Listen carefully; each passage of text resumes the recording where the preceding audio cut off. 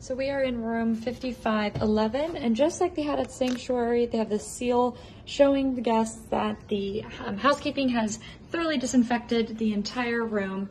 And when you enter, we have this little um, bathroom here, which is actually a, not a little bathroom at all. It's a full bath.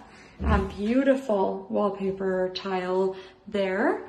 Um, and this room actually has some really nice elements of art and kind of like colorful Dominican vibe. Got a full dining set, and thanks so much for the wine and the snacks. I mean, look how beautiful this is. Gorgeous. And there's some more art. Me, hi.